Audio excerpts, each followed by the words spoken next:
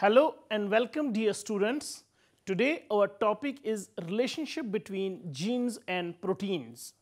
The main objectives of today's lecture are to know about genes and proteins, to study the background of genes and proteins, to know about the relationship between genes and proteins, to understand how is gene expression increased or decreased in response to change at the basic level. Then we will study the significance of proteins in gene expression. Dear students, first of all we will start with the introduction of genes and proteins. So what are genes? Genes are strands of DNA that contain biological instructions for the life. They are basic physical and functional units of heredity. Danish botanist Wilhelm Johannsen coined the word gene to describe the Mendelian units of heredity. Each gene contains sequence that determine physical and biological traits of an organism. Genes are the working subunits of DNA which determine what an organism is like, its appearance, how it survives, and how it behaves in its environment. All living things depend upon these genes as they specify all proteins and functional RNA chains. A gene consists of a long combination of four nucleotide bases namely adenine, guanine, cytosine and thymine. Genes are coded instructions that hold the information to build and maintain an organism's cells and pass on the genetic traits to offsprings. Some genes act as instructions to make molecules called proteins. However, many genes do not code for proteins. In humans, genes vary in size from a few hundred DNA bases to more than 2 million bases. An international research effort from 1990s to 2003 known as the Human Genome Project which worked to determine the sequence of human genome and identify the genes that it contains, estimated that humans have between 20,000 and 25,000 genes. Most genes are the same in all people, but a small number of genes that is less than 1% of the total are slightly different between people. Geneticists keep track of genes by giving them unique names. Because gene names can be long, genes are also assigned symbols which are short combination of letters and sometimes numbers that represent an abbreviated version of the gene name. For example, a gene on chromosome 7 that has been associated with cystic fibrosis is called the cystic fibrosis transmembrane conductance regulator. Its symbol is CFTR. Genes affect hundreds of internal and external factors such as whether a person will get a particular eye color or what disease they may develop. Changes in genes can also lead to incorrectly formed proteins that cannot perform their functions. These are called gene mutations and may lead to genetic disorders. Genes are used to predict cancer and gene therapy is a technique that uses sections of DNA to treat or prevent disease or medical disorders. Dear students, now let's discuss what are proteins. Proteins were recognized as a distinct class of biological molecules in the 18th century by Antoni Fourcroy and others. Proteins are large complex biomolecules and macromolecules that comprise one or more long chains of amino acids residues and do most of the work in cells. They are important to the structure, function and regulation of the body. They are necessary for building the structural components of the human body such as muscles and organs. Proteins perform a vast array of functions within the organism including catalyzing metabolic reactions, DNA replication, responding to the stimuli, providing structure to the cells and organisms and transporting molecules from one location to the another. Proteins work as enzymes to catalyze metabolic reactions, function as hormones to regulate body processes, and function as antibodies, cytokines, and chemokines to protect us from diseases and infections. A protein may contain a few amino acids or it could have several thousands that may have primary, secondary, tertiary, or quaternary structures.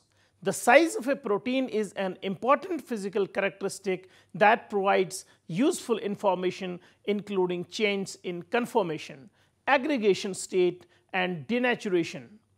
Protein scientists often use particle size analyzers in their studies to discuss protein size or molecular weight. Methods commonly used to study protein structure and function include immunohistochemistry, site-directed mutagenesis, X-ray crystallography, nuclear magnetic resonance, and mass spectroscopy. Now, dear students, we will learn about the background of genes and proteins. Since the rediscovery of Mendel's work in 1900, the definition of the gene has progressed from an abstract unit of heredity to a tangible molecular entity capable of replication, transcription, translation and mutation. Genes are composed of DNA and are linearly arranged on the chromosome. Some genes encode structural and regulatory RNAs. There is increasing evidence from research that profiles the transcriptome of cells that is the complete set of all RNA transcripts present in a cell. That these may be the largest classes of RNAs produced by eukaryotic cells, far outnumbering the protein encoding messenger RNAs that's mRNAs. But the 20,000 protein encoding genes typically found in animal cells and the 30,000 protein encoding genes typically found in plant cells nonetheless have huge impacts on cellular functioning of an organism protein encoding genes specify the sequence of amino acids which are the building blocks of proteins. In turn, proteins are responsible for orchestrating nearly every function of the cell. Both protein encoding genes and the proteins that are the gene products are absolutely essential to the life as we know it and replication transcription and translation are the three main processes used by all cells to maintain their genetic information and to convert the genetic information encoded in DNA into gene products, which are either RNAs or proteins depending upon the gene. In eukaryotic cells or those cells that have a nucleus, replication and transcription takes place within the nucleus while translation takes place outside of the nucleus in the cytoplasm. In prokaryotic cells or those cells that do not have a nucleus, all three processes occur in the cytoplasm. Replication is the basis for biological inheritance. It copies uh, a cell's DNA. The enzyme DNA polymerase copies a single parental double-stranded DNA molecule into two daughter double-stranded DNA molecules. Transcription makes RNA from DNA, the enzyme RNA polymerase creates a RNA molecule that is complementary to a gene encoding stretch of DNA. Translation makes proteins from mRNA. The ribosome generates a polypeptide chain of amino acids using the mRNA as a template. The polypeptide chain folds up to become a protein. Archibald Garrod was one of the first scientists to propose that genes control the function of proteins. In 1902, he published his observations regarding patients whose urine turned black. This condition known as alkaptonuria that happens when there is a build-up of the chemical homogentisate which causes the darkening of urine. In most situations, excess amount of amino acid phenylalanine are metabolized by the body. This led Garrod to summarize that the enzyme responsible for its breakdown must be defective in these patients. In addition, since the black urine phenotype was passed from generation to generation in a regular pattern, Garrod reasoned that a gene had to be responsible for the production of the defective enzyme that is the protein. He attributed a defective enzyme to a defective gene suggesting a direct link between genes and proteins. Dear students, now we will discuss the relationship between genes and proteins. How do genes direct the production of proteins? Most genes contain the information needed to make functional molecules called the proteins. A few genes produce regulatory molecules that help the cell assemble these proteins. The journey from gene to protein is complex and tightly controlled within each cell. It consists of two major steps. One is the transcription and another is the translation. Together, transcription and translation are known as gene expression. During the process of transcription, the information stored in a gene's DNA is passed to a similar molecule called RNA, that's ribonucleic acid, in the cell's nucleus. Both RNA and DNA are made up of a chain of building blocks called the nucleotides, but they have slightly different chemical properties the type of RNA that contains the information for making a protein is called messenger RNA or mRNA because it carries the information or message from the DNA out of the nucleus into the cytoplasm. Translation, the second step in getting from a gene to a protein takes place in the cytoplasm. The mRNA interacts with a specialized complex called a ribosome which reads the sequence of the mRNA nucleotides. Each sequence of three nucleotides called a codon usually codes for one particular amino acid. That's amino acids are the building blocks of proteins. A type of RNA called tRNA or transfer RNA assembles the protein one amino acid at a time. Protein assembly continues until the ribosome encounters a stop codon, a sequence of three nucleotides that does not code for an amino acid. There are three stop codons, amber, ochre, and opal. The flow of information from DNA to RNA to proteins is one of the fundamental principles of molecular biology. It's so important that it is sometimes called the central dogma of molecular biology. Genes encode proteins and proteins dictate cell's function. Therefore, the thousands of genes expressed in a particular cell determine what that cell can do or what function that cell can perform. Moreover, each step in the flow of information from DNA to RNA to protein provides the cell with a potential control point for self-regulating its functions by adjusting the amount and type of protein it manufactures. At any given time, the amount of a particular protein in a cell reflects the balance between the protein synthetic and degradative biochemical pathways.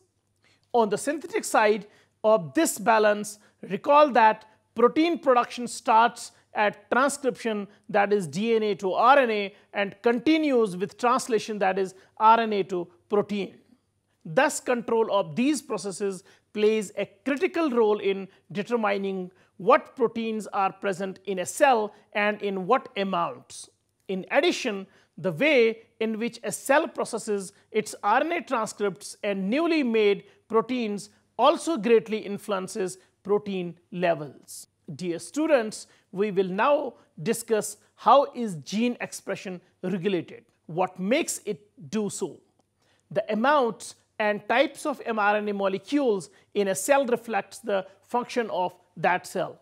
In fact, thousands of transcripts are produced every second in every cell. Given these statistics, it is not surprising that the primary control point for gene expression is usually at the very beginning of the protein production process, the initiation of transcription. RNA transcription makes an efficient control point because many proteins can be made from a single mRNA molecule, that is the polygene. Transcript processing provides an additional level of regulation for eukaryotes and the presence of a nucleus makes this possible. In prokaryotes, translation of a transcript begins before the transcript is complete due to the proximity of ribosomes to the new mRNA molecules. In eukaryotes, however, transcripts are modified in the nucleus before they are exported to the cytoplasm for translation. Eukaryotic transcripts are also more complex than prokaryotic transcripts. For instance, the primary transcripts synthesized by RNA polymerase contain sequences that will not be part of the mature RNA. These intervening sequences are called introns and they are removed before the mature mRNA leaves the nucleus. The remaining regions of the transcript which include the protein coding regions are called exons and they are spliced together to produce the mature mRNA. Eukaryotic transcripts are also modified at their ends which affects their stability and translation. Of course, there are many cases in which cells must respond quickly to changing environmental conditions. In these situations, the regulatory control point may come well after transcription. For example, early development in most animals relies on translational control because very little transcription occurs during the first few cell divisions after fertilization. Eggs therefore contain many maternally originated mRNA transcripts as a ready reserve for translation after fertilization. On the degradative side of the balance, cells can rapidly adjust their protein levels through the enzymatic breakdown of RNA transcripts and existing protein molecules. Both of these actions result in decreased amount of certain proteins. Often this breakdown is linked to specific events in the cell. The eukaryotic cell cycle provides a good example of how protein breakdown is linked to cellular events. This cycle is divided into several phases, each of which is characterized by distinct cyclin proteins that act as key regulators for that particular phase. Before a cell can progress from one phase of the cell cycle to the next, it must degrade the cyclin that characterizes that particular phase of the cycle. Failure to degrade a cyclin stops the cycle from continuing. Dear students, now we will discuss how do different cells express the genes they need. Only a fraction of the genes in a cell are expressed at any one time. The variety of gene expression profiles characteristics of different cell types arise because these cells have distinct sets of transcription regulators. Some of these regulators work to increase transcription whereas others prevent or suppress it. Normally, transcription begins when an RNA polymerase binds to a so-called promoter sequence on the DNA molecule. This sequence is almost always located just upstream from the starting point for transcription that is the 5' end of the DNA. Though it can be located downstream of the mRNA at 3' end. In recent years, researchers have discovered that other DNA sequences known as enhancer sequences that also play an important part in transcription by providing binding sites for regulatory proteins that affect RNA polymerase activity. Binding of regulatory proteins to an enhancer sequence causes a shift in chromatin structure that either promotes or inhibits RNA polymerase and transcription factor binding. A more open chromatin structure is associated with active gene transcription. In contrast, a more compact chromatin structure is associated with transcriptional inactivity. Some regulatory proteins affect the transcription of multiple genes. This occurs because multiple copies of the regulatory protein binding sites exist within the genome of a cell. Consequently, regulatory proteins can have different roles for different genes and this is one mechanism by which cells can coordinate the regulation of many genes at once. As we have now understood at the basic molecular level the relationship between genes and proteins, we will now learn how is gene expression increased or decreased in response to environmental change. In prokaryotes, regulatory proteins are often controlled by nutrient availability. This allows organisms such as bacteria to rapidly adjust their transcription patterns in response to environmental conditions.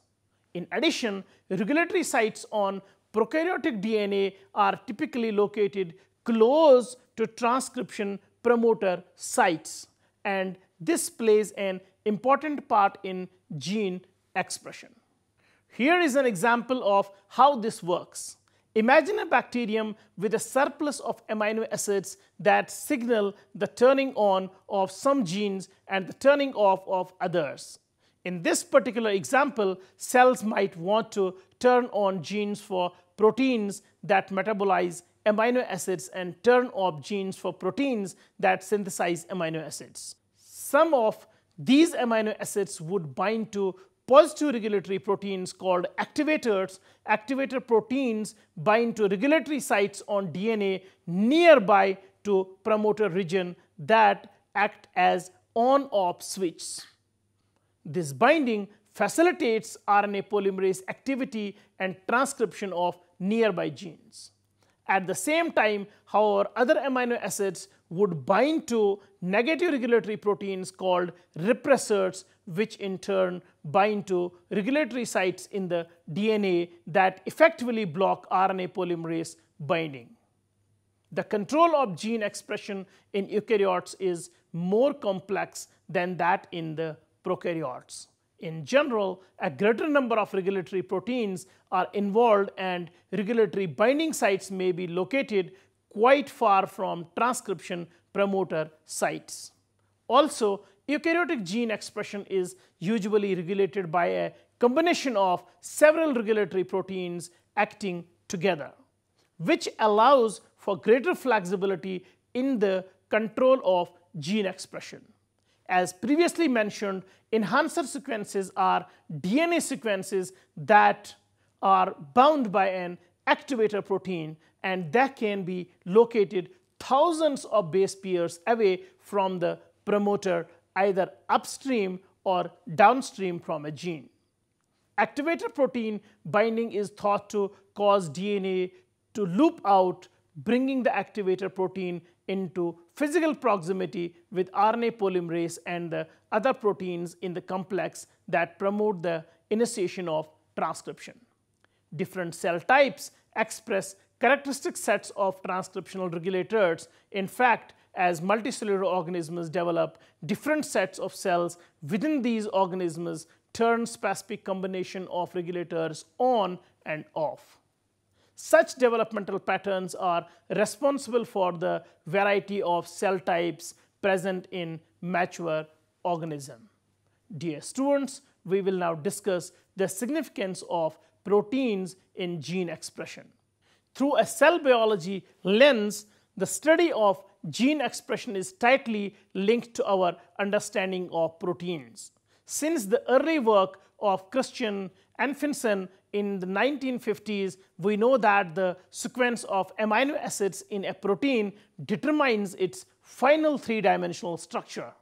Following from that, scientists have repeatedly observed that protein structure dictates where it will act and what it will do.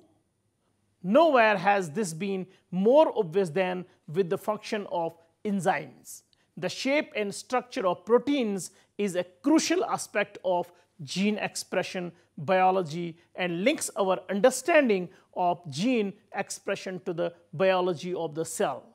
While primarily concerned with protein molecules that act on DNA and RNA sequences such as transcription factors and histones, the study of gene expression also focuses on where in the cell expression is modulated. In fact, the modulation of gene expression can occur in the nucleus, the cytoplasm, or even at the cell membrane due to the impact of proteins on RNA in those cellular subregions. Now that we have understood every aspect of gene-protein relationship, we will now discuss how do scientists study protein shape and function as the structure of protein is important for the proper functioning of proteins. A technique called mass spectrometry permits scientists to sequence the amino acids in a protein. After a sequence is known, comparing its amino acid sequence with databases allows scientists to, to discover if there are related proteins whose function is already known. Often similar amino acid sequences will have similar functions within a cell. The amino acid sequence also allows scientists to predict the charge of the molecule, its size and its probable three-dimensional structure. The charge and size can later be confirmed experimentally via SDS PAGE and double dimension gels. To deduce the intricacies of three-dimensional structure, scientists will try to crystallize the protein to confirm its molecular structure through X-ray crystallography and or nuclear magnetic resonance spectroscopy or PNMR. Now again, a question arises here, how do scientists study the impact of proteins on genes or other proteins? A good way to study the function of the protein is to see what happens in the cell when the protein is not present. For these scientists use model systems such as cell culture or whole organisms, wherein they can test the function of specific proteins or genes by modifying or mutating them. The expression levels of a gene can be calculated by measuring the transcribed mRNA northern blot, the expressed protein that is the western blot, or by directly staining the protein or mRNA when it is still in the cell. New techniques have changed the way we study gene expression.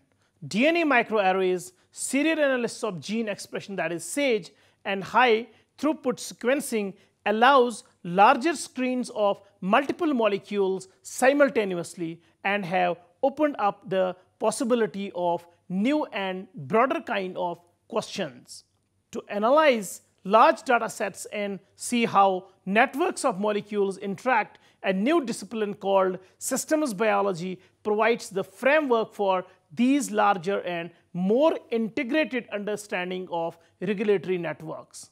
Interestingly, proteins are not the only gene regulators. Regulatory molecules come in the form of RNA and act on other nucleic acids by changing or disrupting them. One example is the family of riboswitches, ribonucleic acid molecules that form three-dimensional structures that halt or interfere with transcription given the proper external signal. Another example of RNA acting on other RNAs is the mechanism of RNA interference, that is RNAi, whereby double-stranded RNA molecules degrade mRNA before translation thus effectively interfering with protein expression. The dissection of this mechanism and its subsequent experimental imitation has been a boon to those interested in manipulating gene function. Ultimately, results from these kind of studies have fundamental relevance from the basic understanding of normal cell function such as cell differentiation, growth, and division to informing radically new approach for treating diseases. In fact, some human diseases can arise simply from a defect in a protein's three-dimensional structure. Through the study of gene expression and proteins, it is easy to see how minute changes at the molecular levels can have deleterious impact. Dear students, it was all about today's lecture. Hope you have understood it well. Take care. Goodbye.